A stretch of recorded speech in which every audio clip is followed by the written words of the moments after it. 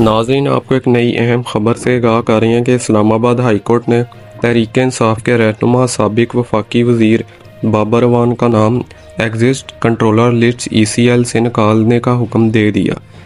Islamabad high court में P T I रहनुमा बाबर अवान का नाम ई सी एल से निकालने के लिए दायर दरख्वास्त पर समात हुई।